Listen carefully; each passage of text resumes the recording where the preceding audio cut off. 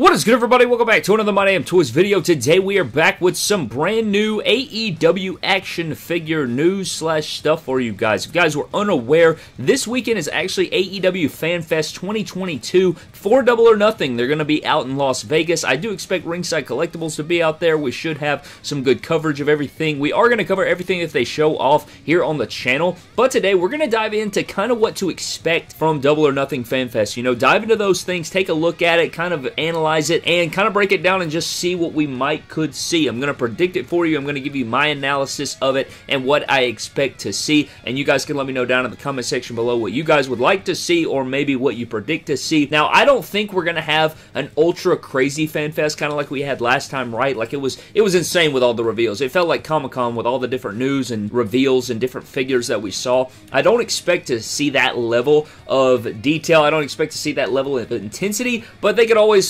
surprise us. You know, they could always surprise us. They could always come out and, and knock it out of the park. But anyways, man, let's go ahead and dive into my predictions of what we're going to see at FanFest Double or Nothing. So the first thing that I think we're going to see, guys, is going to be the Unmatched Collection. We're going to start off with the Unmatched Collection. You guys know that we got a ton of stuff revealed to us last time with AEW Unmatched Series number 4. Now, I think that is going to be a thing. I think we're going to see AEW Unmatched Series number 4. You guys know with the CM Punk figure, it has Jade in it. It has another MJF. We have the early version of Chris Jericho. It also includes the suited Cody Rhodes, the Street Gear Adam Page. I think that this is going to be a really sweet set. I think we'll see better versions of those or finalized versions of those. Maybe it'll include like all of their different accessories they're going to come with. We'll cover the chase situation, all of those different things. We also, or what I think we'll see is I think we'll actually see prototypes of AEW Unmatched Series number 5. Now, AEW Unmatched Series number 5 is going to include Bryan Danielson. You guys know that we saw the really sweet render images. I think we are going to see prototype images of Unmatched Series number five. That's going to include Bryan Danielson, Shawn Spears. We have Red Velvet in that series, Kenny Omega in the sweet jacket, and we also have Sammy Guevara in that set,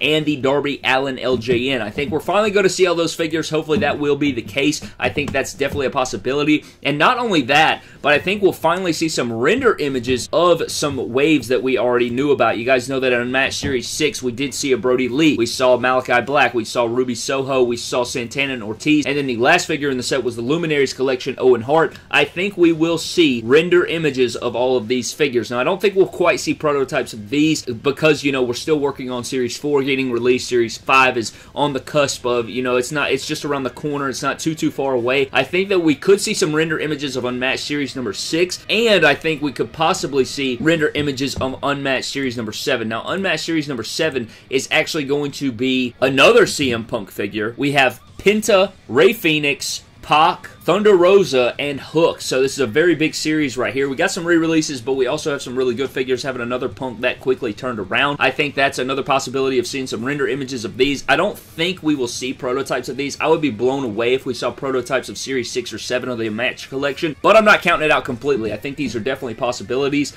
but we'll have to see about that. Again, I'm going to be shocked if they have a ton of stuff on display, but I'm, I'm just going, putting all of this out there. These are things that we could see and should expect possibly to see. You know, these should be things that you keep in the back of your mind as we enter FanFest this weekend. You know, there's got to be enough to show off and there's got to be enough of something for people to appeal to, so they have to do some things, but it's going to be hard to top the last FanFest. Now, diving into Unrivaled Collections, let's get into series number 10 and 11. Now, you guys know that last FanFest we did see Unrivaled Series 10 featuring Andrade. We saw Britt Baker. We saw Miro. We saw Taz. We saw Wardlow. We saw Jake Hager. I think all of those figures, you guys remember we did see prototypes of those. I think we'll see more finalized images of those. Like, I think they will be on display. Those are going to be ready to go out sooner rather than later. I think they should be more updated. They should be better. Maybe we'll see Andrade's jacket. Maybe we can see some other things like that. You know, just better looking prototypes of those figures. Maybe closer to finalization. They may even be final, but we'll have to wait and see about that. Speaking of which, I think it is highly possible that we could see Unrivaled Series 11 prototypes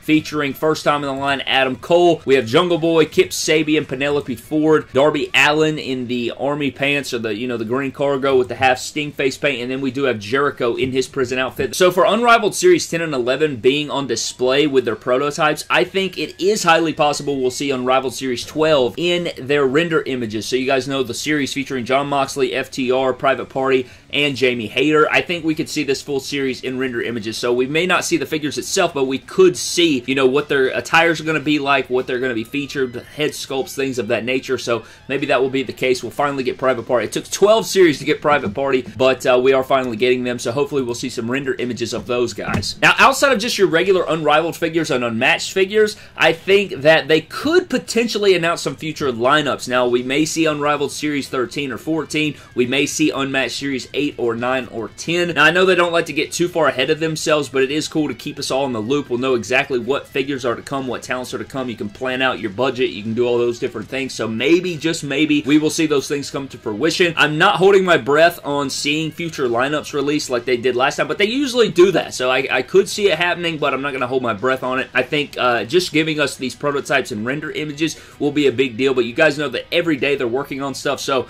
they could just drop a whole bunch of ish on us like they always do, but uh, I, I, don't know. We'll, we'll, just have to wait and see. However, I think on top of seeing new renders of these different lineups that we already know about, I think they're going to announce some new exclusives and they're going to announce some new Supreme Editions. So as far as Supreme Editions, you guys know that we did see Supreme Edition Series 1 and 2 featuring Britt Baker, Cody, and then in Series 2 we do have Kenny Omega and Malakai Black. I think we could possibly see the announcement of AEW Supreme Collection Series 3, and I don't know, I don't think we'll see renders or anything, but I think they'll show off who's going to be included in Series number 3, and who I think will be included for Series number 3. I'm going to say that it's going to be Brodie Lee and Chris Jericho. That's that's my guesses. That's going to be my guesses for Supreme Collection Series 3. You know, they got to go with big names. They got to go with people that are going to sell. They got to go with people that have cool jacket and cloth style accessories with interchangeability. I'm going to go with Brodie Lee, and I'm going to go with Chris Jericho. I don't know exactly if that's going to be the case. I'm just predicting that we'll see Supreme Collection Series 3. I'm just going to go out on a limb and just predict Brodie Lee and Chris Jericho for it. Just staying safe. But other guys that I think we'll see announced for figures, whether they just announce that they're getting a figure or they actually show us a render image, I think Jeff Hardy could be one of those guys that features and gets a figure. Danhausen is another guy that could get an exclusive or a figure announced coming up.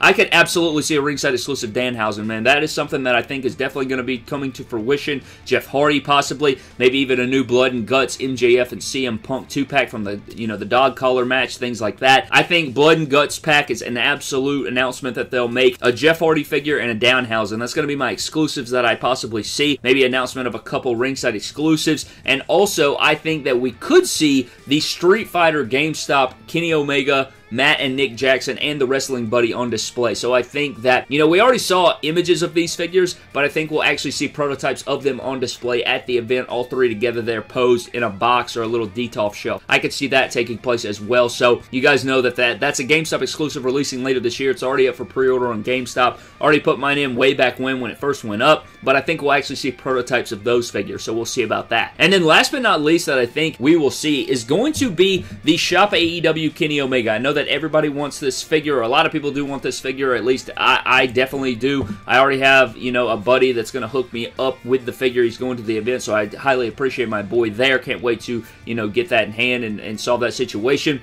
I do think that we're going to see this figure out there. People are going to be able to get it in hand. So if you're going to this event, if you live in Las Vegas, you want to grab the Skinny Omega Shop AEW exclusive one of 3000 go get it, man. Go, Do not hold back, man. Just go pay for FanFest. Maybe meet Kenny Omega, get it autographed. If I was going, I'd absolutely lock down a couple, get one autographed and, you know, hung up on the wall there. But this is my favorite mock figure that they have made to date. I think the packaging is absolutely beautiful. I can't wait to review it on the channel. I plan on getting a couple when they go up to Shop AEW next week. So they are going to go up for sale on shopaew.com next week. So definitely be prepared for that. If I get any more information on that, I will try to pass that along. You guys know that sometimes they just drop it on us and you got to be ready and willing. So it'll be probably midday sometime, probably, you know, Monday, Tuesday, or Wednesday or something like that. We'll have to see what the details of it are. Maybe they'll, you know, you know, you never know with that. But it is just the Unrivaled Series 4 Kenny. It just re-released with a T-shirt, a really cool shirt, and then a, a sick box. So that that's okay with me. I think it's a beautiful package. I think it's probably the best mock figure they've done so far. I just love the way it looks. So I'm definitely going to try and get my hands on a few copies of that figure for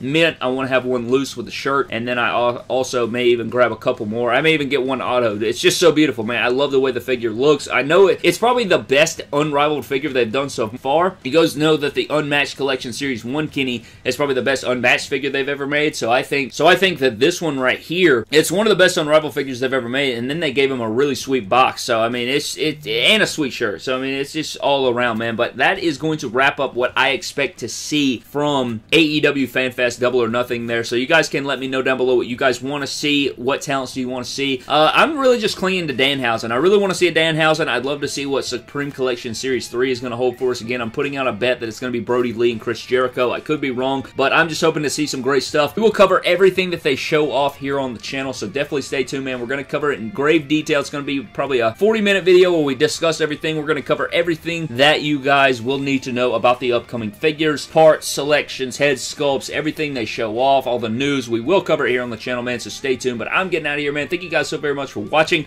Let me know your thoughts down below in the comment section. What do you want to see? I will see you guys next time. Have a blessed day, and I'll see you guys in the next video.